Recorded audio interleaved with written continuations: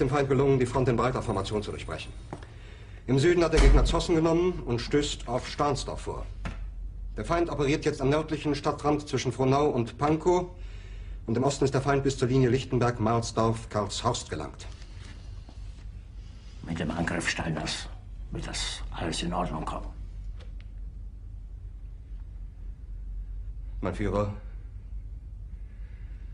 Steiner. Steiner konnte nicht genügend Kräfte für einen Angriff massieren. Der Angriff Steiner ist nicht erfolgt.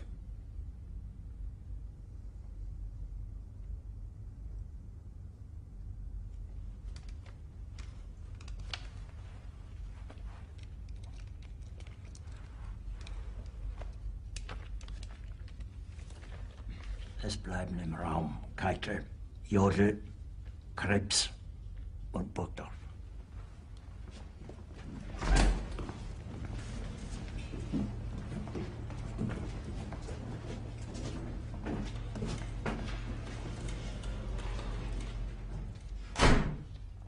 War ein Befehl! Der Angriff Steiners war ein Befehl! Wer schickt Sie? Dass Sie es wagen, sich meinen Befehl zu widersetzen! So weit ist das also gekommen. Das Militär hat mich belogen! Jeder hat mich belogen, sogar die SS!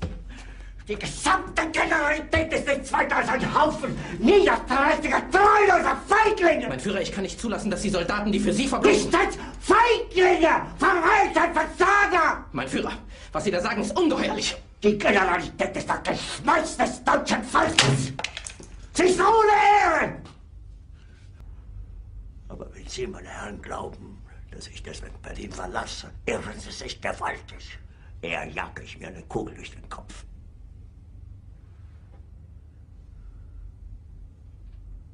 Tun Sie, was Sie wollen.